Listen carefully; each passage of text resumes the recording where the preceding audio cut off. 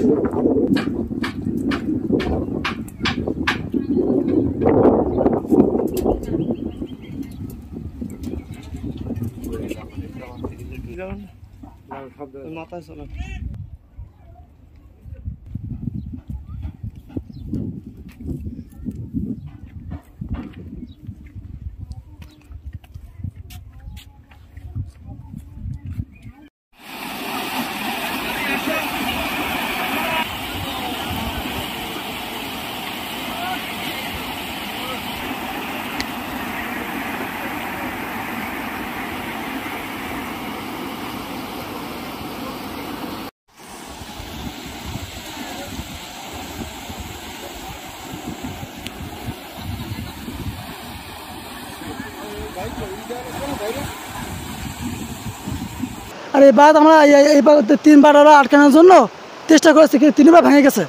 আর এতে করে মনে করেন যে আমাদের প্রায় শ্রমিক ছিল দুইশো, আড়াইশো শ্রমিক সবসময় এখানে আছে। তারপরে আমাদের বাদ আমরা এখানে আটকাতে পারতেছি না। আর আজকে আমরা চেষ্টা করব, আজকে বান্ধার আজকে চেষ্টা করতেছি। দেখি আজকে আমরা বাঁধতে পারি কি ক্ষতি হয়েছে? যে ক্ষতির কোনো তুলনা নাই। এখন ক্ষতি সবার মানে যাদের ক্ষতি হয়েছে তারা রাস্তায় একজনে বাড়ি বাড়ি বাস করতেছে। মানে ভিতরে যাদের বাড়ি আছে, তাদের বাড়ি বাস করতেছে। এখন সরকারের দাবি যে এই ক্ষতি কিছুটা হলেও সরকার তাদের পূরণ করুক এই।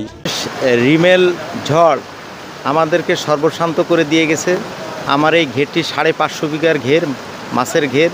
এখানে একশো চারজন জমির মালিক এবং একশো চারটি পরিবার এই জমির আয়ের উৎস দিয়ে তাদের পরিবার চলে এবং আমার এই ঘেরে বিশ থেকে পঁচিশ জন কর্মচারী, এই মাছের ব্যবসার সাথে জড়িত আছে বিশ থেকে পঁচিশ জন, তারপরে স্থানীয় লোকজন, তারা এই আমাদের বাঁধের কাজে সার্বক্ষণিক তারা পরিশ্রম করে খাটে। বলতে গেলে মিনিমাম দুই থেকে আড়াইশো পরিবার এই ঘেরটির উপর নির্ভর করে থাকে। আমরা ত্রাণ চাই না, আমাদের দক্ষিণাঞ্চলের মানুষের দাবি টেকসই এবং মজবুত ভেড়িবাঁধ। আয়লার পরে যে ভেড়িবাঁধ নির্মাণ হয়েছে, এই ভেড়িবাঁধ মানে ঝুঁকিপূর্ণ রয়ে গেছে।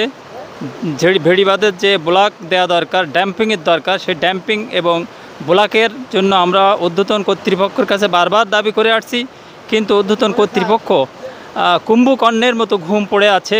এই বত্রিশ নং পোল্ডারটা আপনারা দেখতে পাচ্ছেন শিবসা সুতারখালীর নদী দ্বারা বেষ্টিত। এর চতুর্পাশে ঝুঁকিপূর্ণ। যে বাঁধ নির্মাণ হয়েছে, এই বাঁধটি যদি মজবুত এবং টেকসই করতে হয়, তাহলে এর ডাম্পিং এবং ব্লকের ব্যবস্থা করতে হবে।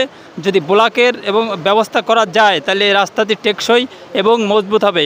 এছাড়া কোনোভাবেই এই রাস্তা টেকানো সম্ভব না।